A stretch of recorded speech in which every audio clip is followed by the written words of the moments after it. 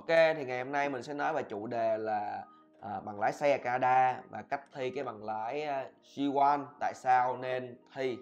Ok thì ờ, như mọi người đã biết ở Canada nó có ba cái loại bằng lái xe dành cho xe cá nhân đó là G1, G2 và Full G. Khác nhau chỗ nào? G1 là cái bằng lý thuyết.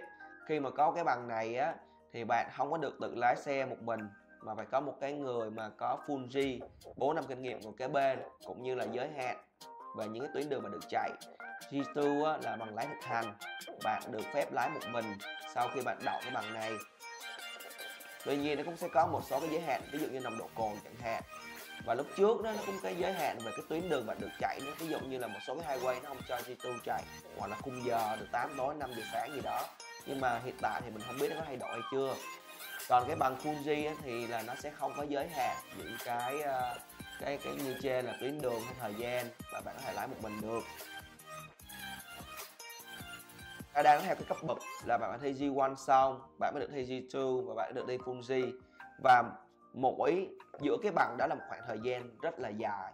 Ví dụ như từ G1 mà lên G2 là bạn phải đợi một năm. Và nếu bạn học ở trong những cái driving school hoặc là những cái thầy mà có chứng chỉ dạy bạn á, thì bạn được rút ngắn đến là tạm 10 tháng còn với những từ G2 mà lên full G là phải đợi thêm một năm. Ví dụ vậy. Thì cái trả lời câu hỏi là, tại sao em nên thi bằng lái xe khi mà em chưa có mua xe? Tại vì cái thời gian em đợi nó dài.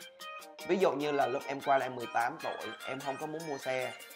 Nhưng mà đến lúc 22 tuổi em tốt nghiệp xong vì cái điều kiện đi làm hay là di chuyển đến vùng xa, em phải mua xe và em có đủ điều kiện để để để afford cho một cái xe không thời điểm đó thì em cũng không thể nào mua được. Tại vì lúc đó em chưa có G2 em chưa có lái được.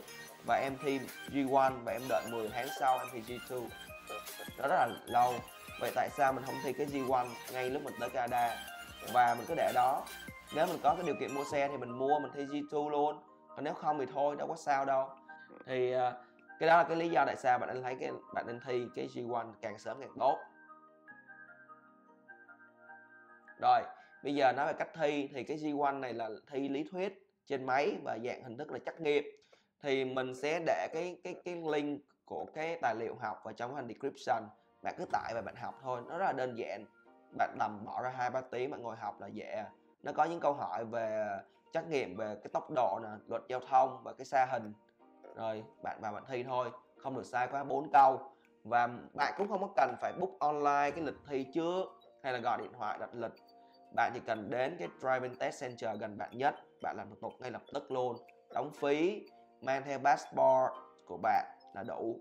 Rồi uh, họ sẽ đo mắt của bạn ngay ở đó để biết là bạn có bị khúc xạ về mắt bị một cái tật nào đó hay không.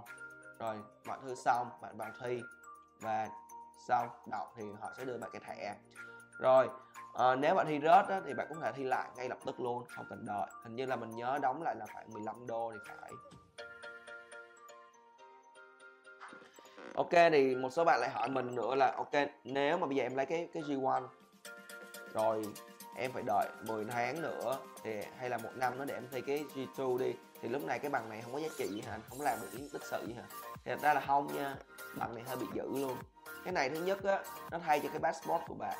Rất là nhiều bạn uh, than thở mình là bị mất passport bị hư bị rách bị ướt passport. Thì bạn nghĩ đi cái passport của bạn á cái passport của bạn thì nó bằng giấy mà cái thời tiết bên Canada lúc mưa, lúc tuyết quá trời luôn.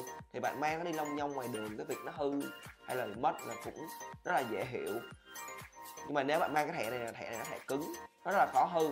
Và ngay trong cái trường hợp mà nó hư á, bạn cần ra cái service Canada, Ontario á, bạn làm lại cái thẻ mới nó rất là dễ. Và đây là lý do tại sao mình có cái thẻ G1 này.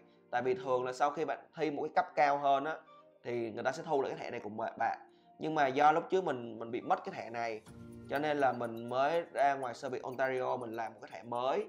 Sau đó mình thi cái G2 thì mình đưa cho họ cái thẻ G1 mới của mình. Thì lúc mình dọn nhà mình phát hiện ra là mình mình tìm được cái thẻ này. Cho nên là rất là tiện mất có thể làm lại và chỉ tốn đâu đó 35 đô. Nhưng mà nếu cái passport của bạn á, mà mất á, thì bạn làm lại phải tốn có thể là 200 đô chẳng hạn và tốn thời gian gửi lên Ottawa này nọ nữa. Cũng rất là tốn nhiều thứ thứ hai cái bằng này cái cái bằng cái thẻ cái bằng G2 này, G1 này bởi vì nó giống như passport của bạn cho nên bạn có thể dùng nó trong rất là nhiều mục đích cuộc sống. Ví dụ bạn mua LCBO được nè ok? Bạn làm sim mà làm thẻ ngân hàng được nè.